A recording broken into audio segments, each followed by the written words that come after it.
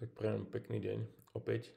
Mm, v tomto videu vám ukážem vlastne, ehm, nazvem to, že tretia časť. Ehm, ukážem vám, ako jednoducho si budete editovať cenník. V podstate to bude ako v tej druhej časti, v tom videu, v tom dlhšom. Ehm, opäť sme v administračnom rozhraní.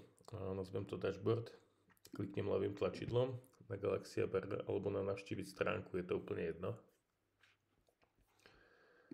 Prejdem do cenníku upraviť s Elementorom. Kliknem. Týmto úkonom si vlastne uh, Elementor zapnem, ten editačný program. Prejdem tam, kde sa potrebujem dostať, čiže napríklad na túto tabulku, kliknem buď do uh, tabulky alebo na tú cerusku. Tá ceruska je taká najistejšia. Toto si viete tiež nejakým spôsobom posúvať podľa seba chcete upraviť ceny, jednoducho do toho dopisujete, keď máte hotovo, tak sa vám ponúkne automaticky po každej úprave možnosť updateu. Máte zmenu hotovú, dáte update a uloží sa to. Rovnako keď chcete dopisovať do tých hlavných vecí, teda do tých, od tej časti heading alebo do textu, tak jednoducho len kliknete na tú cerusku.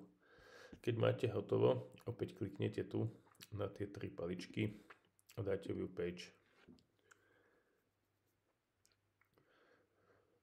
Po tomto úkone sa vám vlastne vypne ten vizuálny editor a pozeráte sa na web stránku ako návštevník.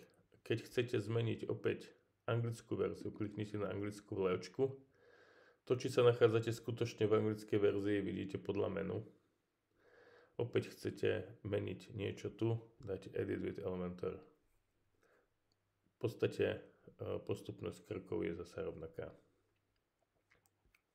Prechádzate sa teraz s zapnutým elementorom. Toto si môžete dať naspäť na ľubovoľnú veľkosť, ako chcete, ako vám vyhovuje. Opäť chcete niečo meniť, alebo chcete meniť niečo v tejto tabulke, tak meníte. Nie je to naozaj nič ťažké. Opäť, keď máte hotovo, dáte view page, pozeráte sa na web stránku, respektíve skontrolujete ako obyčajný návštevník. Prípadne ešte odporúčam e, otvoriť si e, na inom prehliadači vašu web stránku, buď v inkognito móde alebo v tom normálnom móde. Keď urobíte nejaké zásadnejšie zmeny, odporúčam vždycky urobiť tu na e, premazanie keče automaticky, čiže dáte all languages. Vykoná sa tá zmena, chvíľočku to trvá, je to manuálne prečistenie a v podstate môžete odísť, stlačíte na to V a dostanete sa vlastne opäť do toho úvodu. Keď chcete odísť, dáte odhlásiť sa.